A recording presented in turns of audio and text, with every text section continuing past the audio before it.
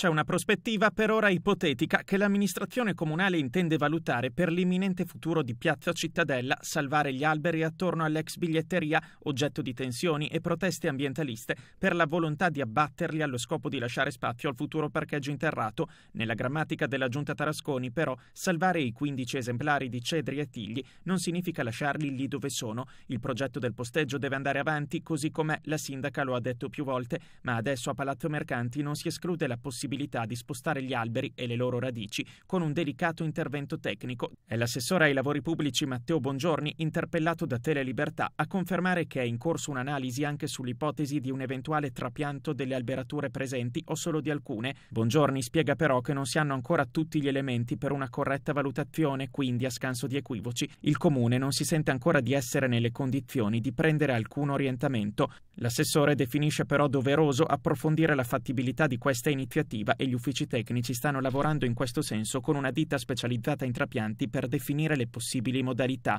Evitare le motoseghe e traslocare le piante esistenti nei pressi di Piazza Cittadella, dunque, l'amministrazione ci pensa, l'idea potrebbe rappresentare un valido compromesso con i manifestanti, anche in vista del dibattito pubblico in programma lunedì 9 settembre. Ieri mattina due agronomi incaricati dal comune hanno effettuato un primo sopralluogo sul posto, dove, lo ricordiamo, da lunedì 26 agosto un gruppo di cittadini e manifestanti ambientalisti protesta senza sosta giorno e notte per chiedere di modificare il progetto di riqualificazione di Piazza Cittadella che prevede l'abbattimento degli alberi. La scorsa settimana gli operai incaricati da GPS, ditta concessionaria dell'opera, erano arrivati in Piazza Cittadella con le motoseghe per procedere al taglio, salvo poi essere fermati proprio dagli attivisti. Ora quantomeno si attenderà il 10 settembre, data in cui si discuterà in tribunale il ricorso presentato da Lega Ambiente per chiedere lo stop definitivo all'abbattimento degli alberi.